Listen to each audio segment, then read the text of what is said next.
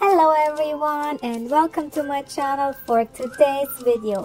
Today I'll be showing you how to fry up some bacon very clean and fast without needing to watch it and turn it around and having your whole kitchen splattered full of bacon fat.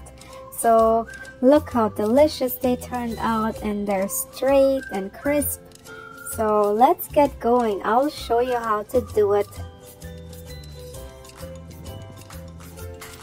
We will start with lining a baking sheet with parchment paper. Make sure it's long enough and the edges are wide enough. And I always use a thicker cut of bacon and when I buy it I make sure I choose the package that has the most meat and less fat on it. So we will just lay them flat on the baking sheet just like that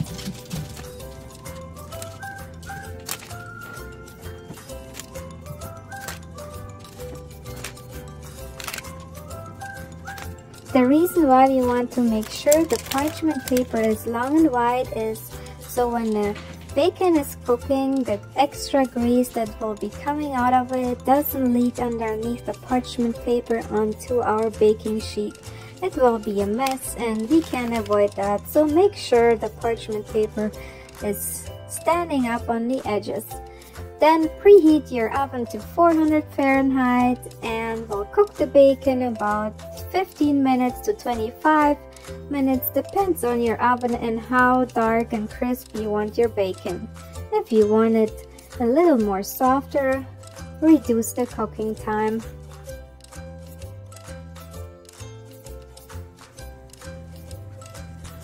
And here is our bacon all fried and looking good so I always use a few paper towels and place the bacon on top of the paper towels into a plate. That way the extra grease will soak into the paper towel and won't stay on the bacon.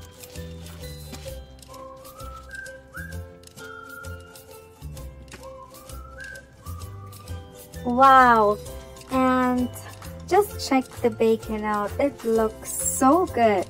Like, you wouldn't even say that half of this is fat. It looks so nice and crisp and crunchy and your sandwich or whatever you're making is just screaming for that kind of a bacon. And it has cost me no attention at all. It cooked by itself in the oven, no grease splattering all over, so very good. Try cooking your bacon next time just like this and you won't do it any other way. If you like this little bacon hack, give me a thumbs up and if you haven't subscribed to my channel yet, subscribe to my channel and you'll be the first to see all the new recipes coming. And thank you for joining me in my kitchen today.